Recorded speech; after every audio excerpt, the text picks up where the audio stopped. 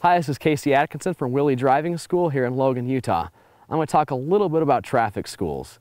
So let's say you get a bad record, like you get in a, you get in a wreck, um, it's your fault, you get a lot of speeding tickets. What you can do to get rid of those points off your record and also to lower your insurance is go to a traffic school. Now what these schools are is you'll go to a classroom and it's usually you know, a couple hours sitting in a classroom basically reviewing driver's ed again. You'll listen to uh, defensive driving tips, um, basic rules of the road, and all, all that good jazz. So if you go to a course like this, it'll usually take anywhere around 50 points from your record, which is quite a big chunk of, off, of points off your record.